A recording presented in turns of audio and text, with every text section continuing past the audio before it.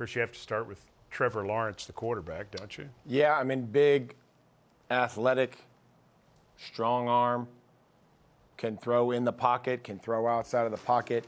Really done a nice job of taking the taking care of the football lately. Uh, 14 touchdowns, two just two interceptions here the last couple weeks.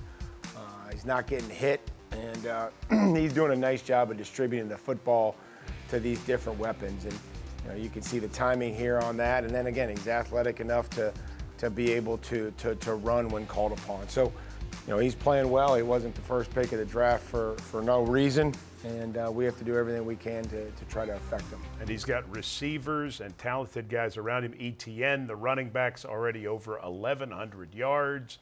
You talk about Kirk and Jones and Engram, two wideouts and a really talented tight end. A lot of speed. A lot of speed. And Etienne has got contact courage. He is not afraid to run in between the tackles. This isn't just a change of pace speed guy. This is a guy that will cut, get downhill, run right through two defenders, and you know it's 88 now at the gate because uh, he has track speed, and uh, you know we'll have to do a great job of first starting there, making sure that there's not a lot of seams, but then you know a lot of skill players, a lot of guys catch and run.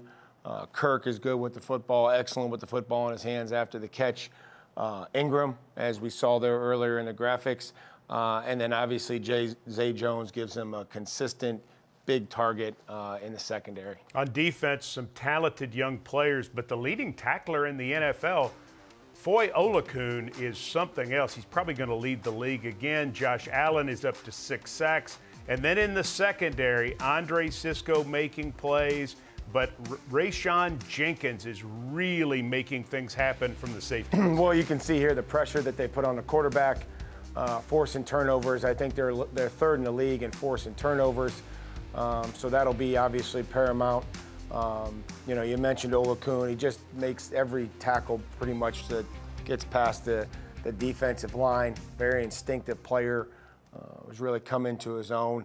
Um, but but it's about this front. It's about these edge guys that they keep rolling in there. Allen, you know, leading the team in quarterback hits. Arden Key continues to to play everywhere. Walker, um, Chaisson, and, and they just keep throwing edge guys at you.